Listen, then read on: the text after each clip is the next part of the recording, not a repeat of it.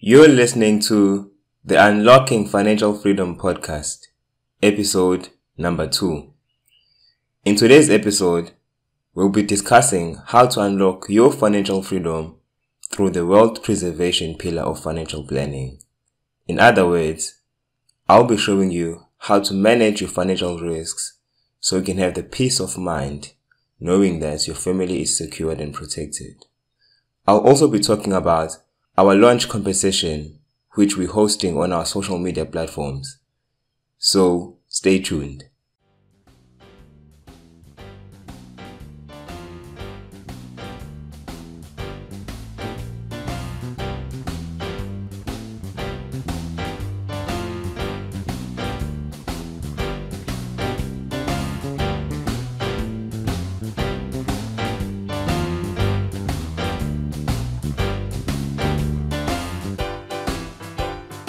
Hello, sanibonani njani?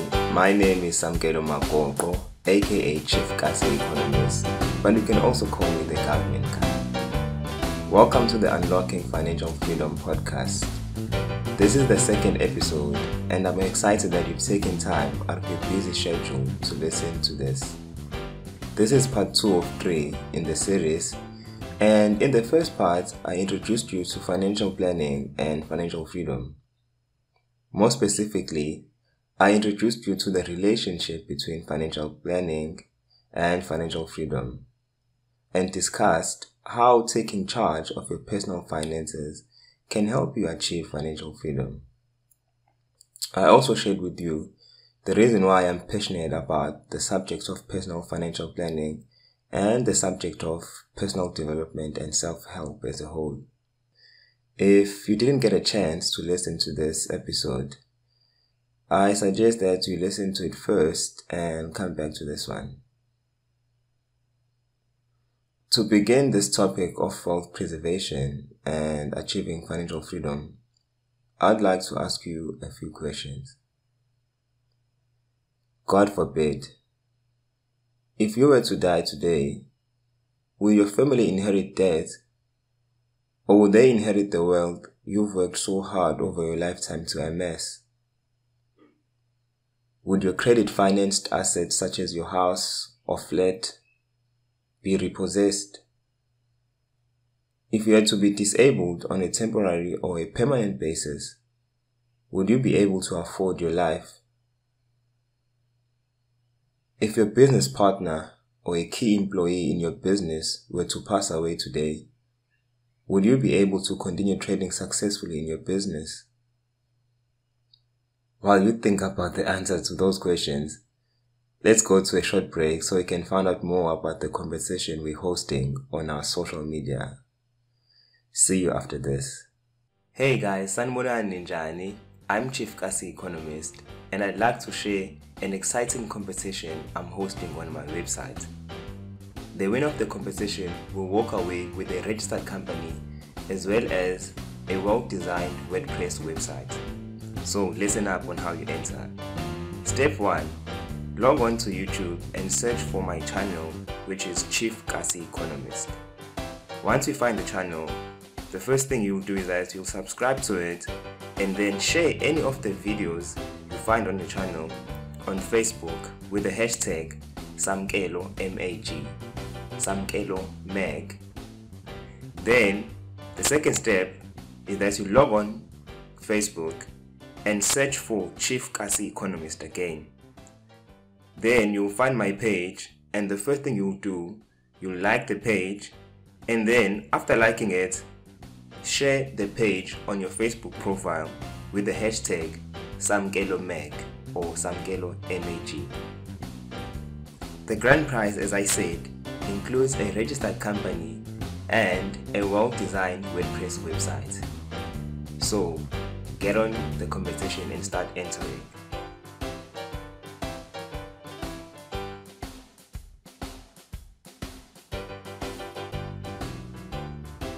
Welcome back, guys. I hope you guys are excited about the competition I'm hosting for my Samkelo Magoqo personal brand. And you know what to do, guys, as you head on the advert. So that's me to you guys. So you must do the things that need to be done for you to enter the competition. So, back to our subject. When thinking about financial freedom, a lot of people tend to look at the wealth creation part of things and they look at the amount of money they want to have, the types of assets they want to amass over their time, Eh, as well as the type of lifestyle they want to live. It's quite rare to find a person who thinks about the peace of mind wealth preservation gives and the financial freedom it can provide. So, as a family man or a woman, you must think about questions such as Will your children be able to live and afford the type of lifestyle you've made them accustomed to when you're gone and you're not here? And as a young professional, your biggest asset is your earning potential. So maybe you don't have a house, you don't have fancy assets, but you do have yourself and your education, and that's your biggest asset basically. So it's quite important to cover yourself as much as you might have a car, a luxury sports utility vehicle, and you could cover for it. You must also take cover on your own life. And as a business person, or a businesswoman, or a businessman, if your business partner might die, you might run the risk of having their family coming into your business because you don't have the money to buy their stake in the business. Taking out key person insurance is quite important. And if you have a key person, such as an employee, that is very productive in your business, and if this employee were to pass away, then your business would be a bit slow and coming back and being operational, it's quite important to look at those things. I'm sure you've got a few questions in your mind. And for example, if you're a young professional, you often ask yourself, do I really need insurance? It won't happen to me. I won't die now. I won't be disabled. These are the questions and are the struggles you have in your mind as a young professional. And I know and I understand because I'm also a young professional. As a business owner, you might also be asking yourself, is there any value in my business? Is there a key employee in this business who is worthy to be insured?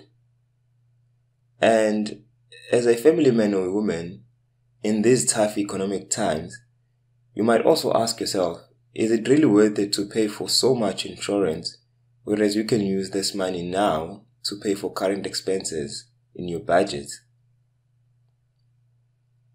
These are all the questions you might have in your mind, and I understand. On top of this, you might also be thinking, I don't owe anyone anything. I don't have to take insurance for my family. I'm my own person. And some people can actually ask themselves, is this insurance thing a scam? Considering what happened to the Momentum case last year. If you didn't see what happened to Momentum, I suggest you check it out. And I'll also link it in the show notes so that you can recap on that Momentum story. So some people are actually asking, is the insurance industry itself fair? Is life in itself fair? Leaving money behind for children is such a bad idea. They'll just blow it all away at once and be left with nothing. Some people even ask themselves, Will I be encouraging my wife and other people in my life and in my family to kill me since they know that I have life insurance? Versa, my check and all that. These are all the things that people ask themselves in townships, in suburbs, everywhere. These are things that people actually ask themselves. And I know you're asking yourself these questions. So I want to answer them for you and put you at ease, basically. During this short time I've lived on this earth, I've been able to see how tragic moments can have adverse effects on a person's life. And I also understand that you might study and become a professional, and during that time, you might also pass on prematurely when you've just started working, when your family is just enjoying the benefits of you working and the benefits of you getting that um, salary. in the year 2018, a friend of mine passed on who was working in Joburg. And he was doing quite well in the corporate um, world. He had climbed the corporate ladder. And he passed on during the long weekend, le April to May, around 27 April. And I was distraught, and my friends were distraught. It's like how this guy just passed on just like that, man. It was so painful. And also, when I was in varsity, there was a guy who was very active in politics, a young gentleman who was very active in politics. Um, I think he had done pharmacy or something.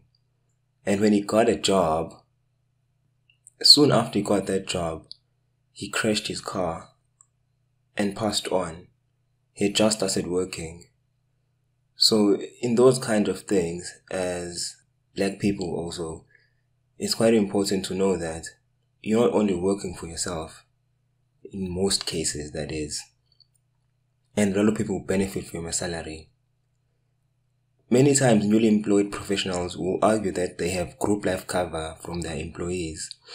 And as much as this is true, it's quite important for you to ask the question, will that cover be sufficient for the loved ones you've left behind?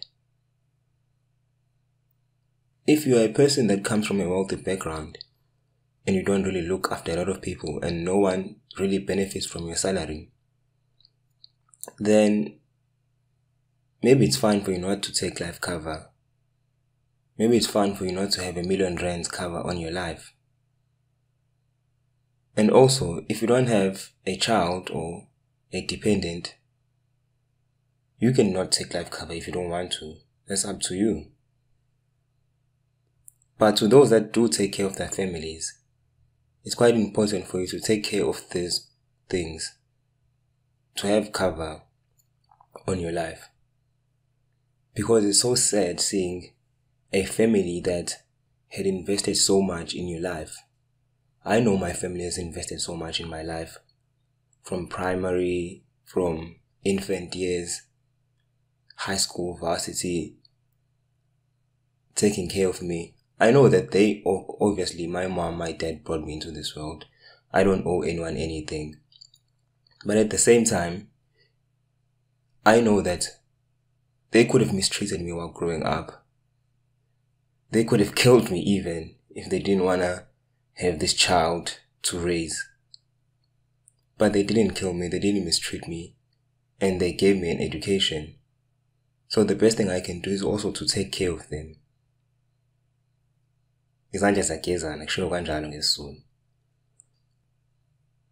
Also to the family man or the family woman, as a parent the toughest decision you have to make is of course your budget and your finances you have to balance the current spending and the future spending. There was a guy who passed on. Um, he was a world class driver, Gugu Zulu. May his soul rest in peace. Um, his wife actually came out um, in the media and said it was very tough for them to carry on with life after her husband died, Mr. Zulu Zulu. So those type of situations and it took courage for her to actually come out in the media and say that because Gugu was someone who was in the spotlight. So for her, I commend her to actually come out into the spotlight to talk about these things because this makes other people to be aware that it's quite important to plan for your estate, to plan for life after death. So these things happen. And also, I also make this example about um, during the time I was growing up in townships you would find that some of the people we went to school with or the neighbors or people around the township um you didn't understand what was that. But that meant that their parents didn't take care of their risks in terms of having life cover so that if they pass on or when they pass on then the bond would be paid off because those houses were bought on credit. And also to the person who's um, a business person, as much as, um, for example, choosing a private company as a form of ownership significantly reduces your liability, There are instances though where stakeholders of your business can hold you accountable on a personal liability type of um situation. When you make um some mistakes in your business and you become personally liable. The risk of being bankrupt due to your business initiatives can actually have adverse effects on your family. So it's quite important for you to take care of those things. Also, another important thing to note is that I also, as Samkelo Magoqo, must take my own advice. My late brother, Budim Kusil, was a financial planner, a financial advisor, a great one even. I think also that's why I actually went into this route because he was there, he did it, and I, I actually looked up to him. So, my late brother, bless his soul, and I love him so much. He passed on, and unfortunately, he had not made sufficient provisions for his finances. Granted, he had made some provisions through taking out certain policies, and thank God he did. But these were not enough and there were shortcomings in his life. For example, the beautiful car he had bought was repossessed. And the reason for that was, well, when he was experiencing financial difficulty, one of the first things he cut down on was short term insurance on his car. Because the nature of um, financial planning and the way we are remunerated, the way we are paid, is quite cruel. We paid on commissions, and they don't really teach us in these companies to build a trail commission, to build passive income within the remuneration structures that are existent in the financial planning industry. So he succumbed to that and he didn't have a passive income. So when he fell sick, his income also stopped. So this is the nature of the industry we are in you earn commission and our managers never teach us um, to diversify our portfolios and our businesses. So I say this to say, also on myself, it's quite important for me to take my own advice. Because it would be unfortunate to see that when I've passed on, I haven't made provisions also for my family. I'm sure you guys would also be disappointed. So now, what changes should you make then as a family? What changes should you make as a um, young professional, as a business person? Um, let's get into those. Now, as a family man or woman, if you're worried about your children, um, that they'll misuse the wealth you've worked hard for, that you've worked hard to accumulate over your lifetime, then you can ensure protection of your wealth and also ensure that this wealth is handed over to younger generations of your family through engaging in estate planning. Basically, estate planning entails you planning for your life after death. Because when you pass on, a new taxpayer arises, which is the estate.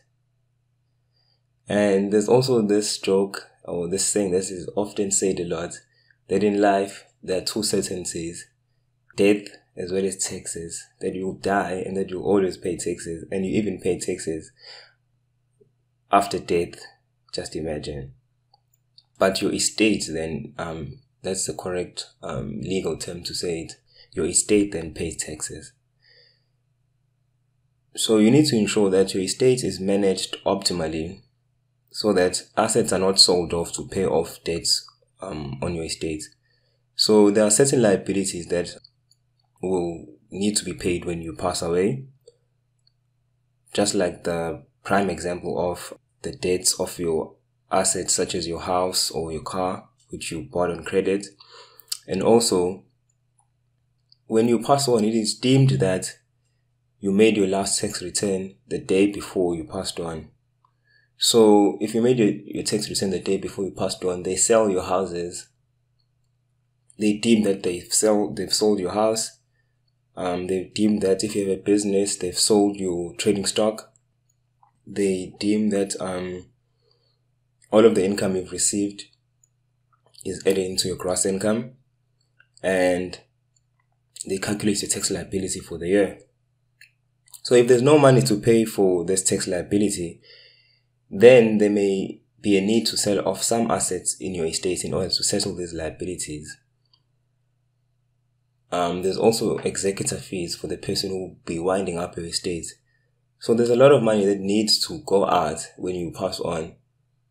And there's a lot of money and services that you need to take care of when you pass on. So it's quite important to have that liquidity in your portfolio. So one of the ways to do this is that when you have a life policy, a life cover policy, over and above perhaps a life cover policy that you had um, to secure your bond, you can take out another life cover policy and don't um, add a beneficiary on that policy, for instance.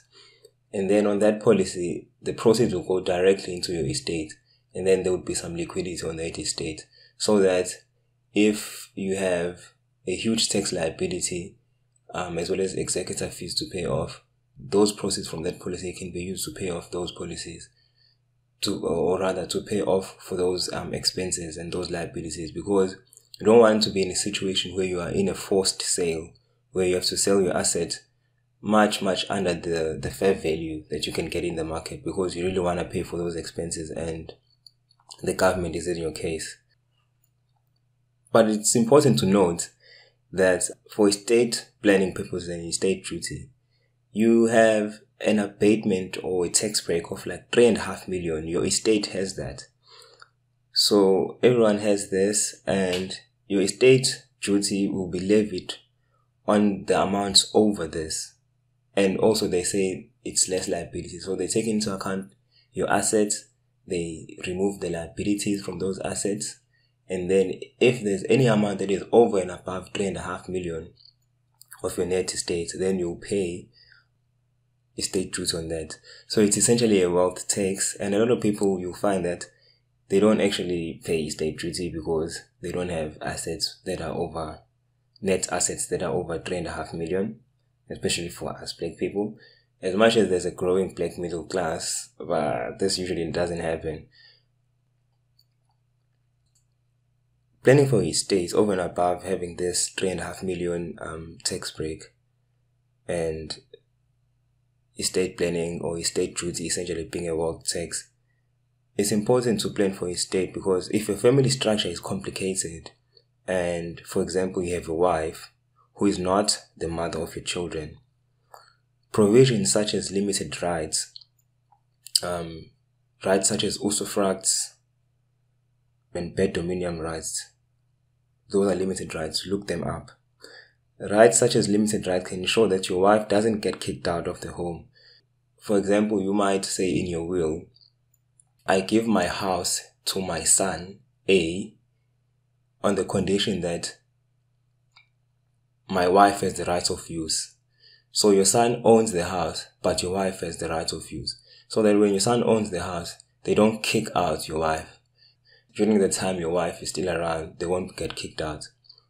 Also, what you can actually do is you can, um, if your mom, for example, even if your mother, you can ensure that um, your mother is not kicked out by your wife when you pass on. So, for example, you can say, I give this house to my wife on condition that she doesn't kick out my mom, then my mom will have the right of use and enjoyment. So that's um, limited rights. So for the business owner, another reason why estate planning is important is because opening up a trust and putting all your assets into a trust ensures protection of your assets against creditors. People can actually open class action lawsuits against you. If a group of employees or a group of stakeholders in your business feel aggrieved, they can open a class action lawsuit and sue you on your personal capacity and not only sue the company but sue you as a director of the company. This means that the limited liability characteristic of a company is now questionable. In the context of trust, trust can then provide asset protection because Section 7 of the Companies Act of 2008 gives more powers to employees and tries basically to align the company's law to the South African Constitution where trade unions have um, rights and people have rights to act um, and ask you questions as the company and as the leader of the company. So there's a new approach to compliance, and this is through personal liability. And Section 76 of the Companies Act also states that a director must act with due care, skill, and diligence when conducting business.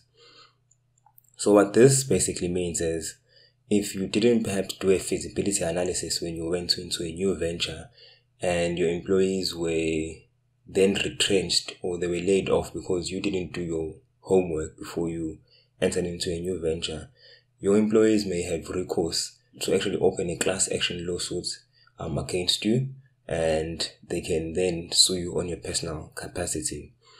So it's quite important for you as a business owner to have um, protection of your assets through a trust because also your creditors can actually come through um, and sue you through a class action lawsuit if they believe that um, you acted recklessly when you borrowed money from them, when you bought goods on credit, when you bought stock on credit. They can actually sue you in your personal capacity. So yeah, it's quite important to have a trust in that sense. So as a young professional also, you can work towards um, absorbing financial risks, obviously, that you face. I know that a lot of young people say insurance is a waste of time, it's a waste of money. They want to consider absorbing their, the, the risks themselves. And for those people who say that, I say if you have a million rands lying around, then you're fine. But if you don't, you need to get cover for yourself. Even if you don't get life cover, like a death benefit, because you say death won't come to you now, I would really suggest that you really get um, protection of your earning ability.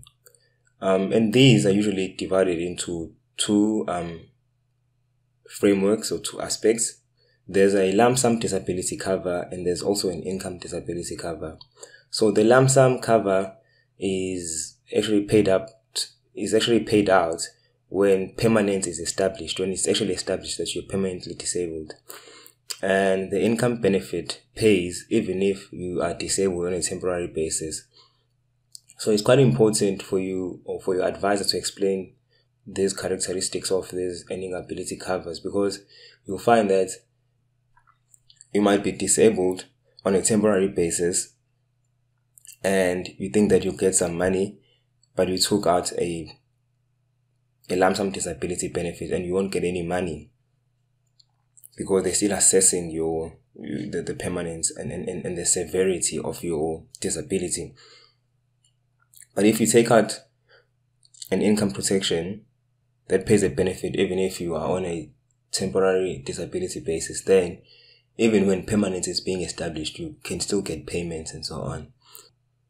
It's quite important for you to understand those differences and it's so hard for you to know that even when they're still establishing um, permanence disability, you still have to pay for your premiums. So it's quite important for you to understand those differences, and that's why you usually need a financial advisor. Usually, there are a lot of opportunities that you can um, take advantage of and you can exploit in estate planning. So, for example, um, the effect of selling assets or donating them into a trust when they are growing, like assets such as your house, which are capital gain assets, is that um, the growth will be frozen for estate duty purposes um, and to the amount of the loan or to the value of the donation for tax purposes. So when you're selling assets into a trust, you usually do it by way of um, a loan account. So you open up a loan account and say you're selling these assets to this um, trust on a loan account, and you'll be selling them at that value at that time. When those assets are then in the loan account, then the estate is essentially frozen to that amount of money. Any growth then will be growing into the trust and it won't be on your side. And then you obviously the trust has then to pay you that that loan has to pay you yearly, pay off that loan and so on. So if assets drop in value, the loan account will be worth correspondingly a lesser amount. But it's quite important to note then that um, if there's no interest charge on the loan, you will be reviewed under Section 7C, which is the anti avoidance um, section of um, the Income Tax Act. because a lot of um, wealthy individuals usually did this. They sold assets um, into their trust um, through a loan account and they didn't charge interest on those loan accounts or they charge a really low amount of interest on those loan accounts. And the government didn't like that because they were avoiding tax. All in all, what I can say is you must take this moment to first personally look at your potential risks and then contact a financial planner. Take this moment to speak to a professional financial planner, financial advisor about your situation and uh, ask them to assess your risk. If you want to do it yourself or do it through a direct insurer and buy life cover through the likes of um, your Momentums, your one lives, and so on, and eliminate the middleman, which is the broker, which is the financial advisor, well, you can do this. It's fine. But the advantage of going through a personal financial planner and an advisor is that they take time out to explain these details of your policy to you. Just like um, the example I made about um, income protection, um, the, the lump sum disability benefit as well as the income benefit. Um, when um, the lump sum benefit only pays out once permanent is established, and during that time the doctor is establishing permanence, you're still having to be paying for the premium. Whereas the income um, the monthly income protection, the income provider actually pays you an income even if you are disabled on a temporary basis. A financial planner actually explains this to you. As a young professional, engaging in risk management at an early age will give you the peace of mind knowing that your family will still benefit through your education even if you pass on. Or maybe you'll be able to continue with life if a tragic life event occurs, such as disability. And as a family man or woman, ensuring that you leave a legacy for your children and that your children don't end up being in the streets is quite important. So taking care of um, your risk planning needs is quite important for you too. And making sure that your assets don't fall into the wrong hands when you pass on is quite important. For you as an entrepreneur, ensuring continuity of your business through key man policies, whether key employees or key business partners, taking out business assurance can help you ensure the continuity of your business and ensure your legacy in your business. And it can also help protect your family's assets against creditors because, as I said, you can be sued by creditors and other stakeholders through class action lawsuits and they can sue you on your personal capacity. All in all, you'll have peace of mind knowing that you've taken care of the basics in your life and that your family is covered. When I was doing economics, we were taught to think at the margin. So, thinking at the margin, you must look at your situations in this way, for example. For as little as 10 rands a day, which is like 300 rands a month, you could get like a million rands life cover, which could save your family from so much hassles. Stop looking at your premium as like, ah, oh, 300 rands, so much money. Think of it like as 10 rands a day. Simple as that. At the margin, you spend 10 rands a day on a pack of cigarettes, not even a pack of cigarettes, only like, what, five, three loose of cigarettes. If you drink coffee, you spend 10 rands a day, like 30 rands a cup of coffee. Think about those those types of things. Think at the margin. For as little as 10 rands a day, you can save your life. You can save your family from all of that tragedy. Um, the risk of losing all your life's work, what you've worked so hard to accumulate over your life, may be repossessed when you die. And in closing, for the skeptical Christian, the born again Christian who's skeptical and says if you take out insurance, then means you have no faith in God, that you are not giving God his role to play. Well, I want you to think about this for a moment. When you look at all the successful preachers who are rooted in the Word of God and in righteousness, do you think they take out insurance or not? When you look at the Joyce Meyers, the Dr. Myles Munroes, who actually passed on, Dr. Myles Munroe, may his soul rest in peace. If you look at all of these pastors, the Jesse Duplantis, all of these pastors, do you think they take out insurance or not? Of course they do. And the late Dr. Myles Munroe even speaks about this in one of his talks where he's talking to men. He speaks about the key man policies and all that. There's a scripture in the Bible, I forget where it is, but a lot of people know the scripture. It says, My people perish because of a lack of knowledge. Let that sink in. That scripture says, My people perish because of a lack of knowledge. If you pass on and your family is not able to take care of their needs, then who will your family blame? You or God? Don't be a foolish Christian who fails to understand the principles of governance and insurance. These concepts are also covered in the Bible. So that's it, guys. Um, that was episode two of the Unlocking Financial Freedom podcast. I hope you guys enjoyed.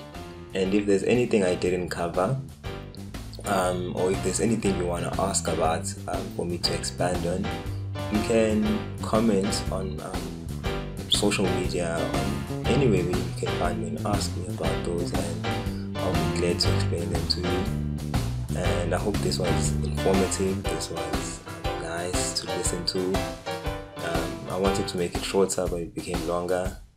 But yeah, so I hope you guys enjoyed, and I'll see you on the next one. And don't forget to enter that competition, guys, uh, that I'm hosting on um, my social media platforms. So I am Chief Kasi Economist, aka the government guy, aka Sam Goodbye, guys. See you on the next one.